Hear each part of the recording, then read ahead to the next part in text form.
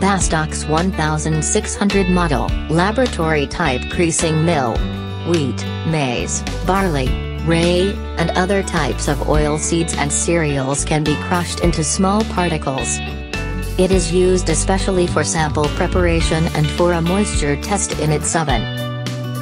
By moving milling discs distances 0.2 to 15 mm, zoom, in and out, it is possible to adjust particle sizes. The milling process does not affect the moisture amount of the sample. For any powder products, the discs should be tightened properly.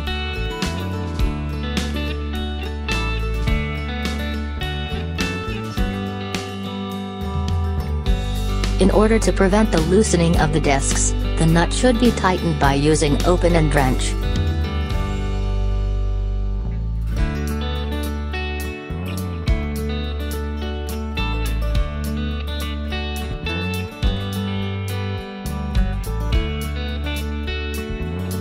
For milling, firstly set the collection container down and then switch on the mill.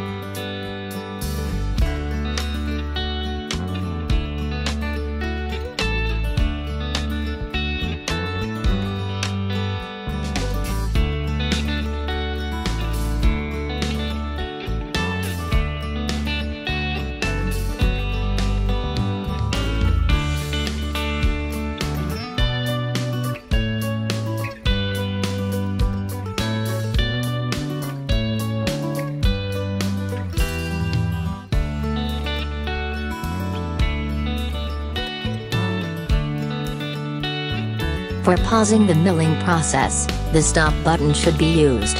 Take out the milled product from the collection container.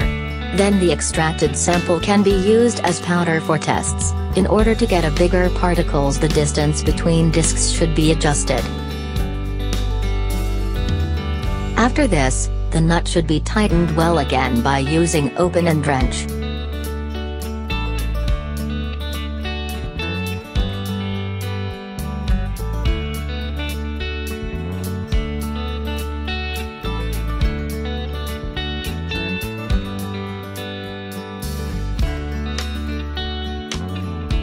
Once milling is finished, press the stop button to switch off the machine.